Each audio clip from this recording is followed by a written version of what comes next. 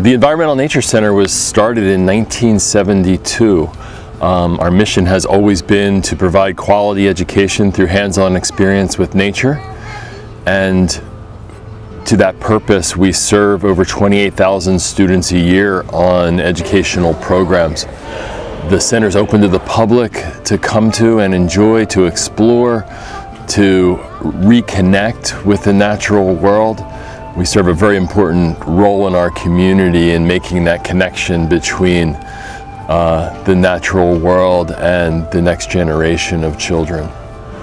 Um, the ENC has a lot of features on its campus, including 15 different plant communities of California, which include a redwood forest, a desert, oak woodlands, uh, freshwater marsh, and all of these areas are available for families, children, adults to explore to their heart's content.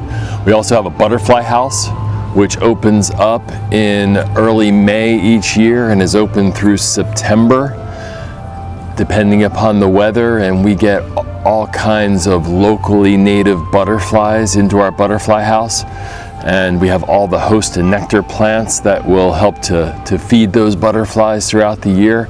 It's a very special place that we open up.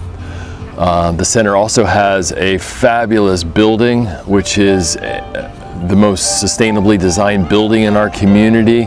It's net zero energy. It, it has a lot of features um, that are designed sustainably, the use of materials, the uh, water conservation features, the energy conservation features make it a very um, important building for our community to use as an example as to how to build things better, how to, how to do things um, that has a little less impact on our natural resources.